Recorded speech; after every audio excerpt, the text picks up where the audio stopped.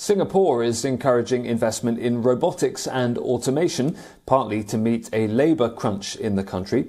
Robots will serve customers in libraries and cafes and will be working on construction sites. Meet Singapore's advanced workforce. These robots. One to survey construction sites, one to serve freshly brewed coffee one that scans bookshelves in libraries, and one to roll around, zap mosquitoes.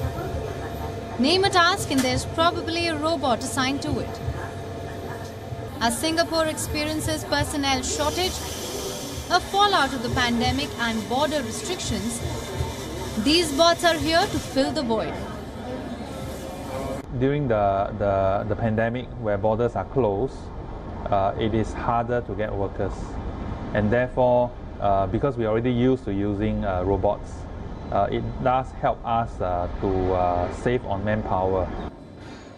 The manpower shortage is the side effect of the COVID-19 pandemic and the restrictions that came with it.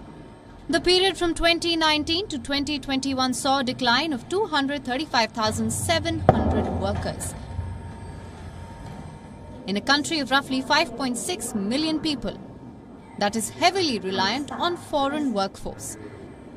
So it turned to robots to help pick up the slack.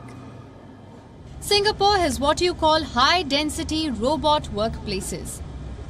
As per the 2021 World Robots Statistic Reports by the International Federation of Robotics, the nation has 605 robots per 10,000 employees. Second highest after South Korea. As personnel slowly start to trickle in, the general consensus is that removing the need for personnel on site may just be a more sustainable option.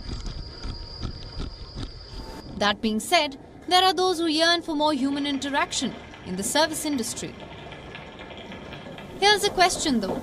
How will Singapore strike a balance between human interaction and an increase in automation and robotics?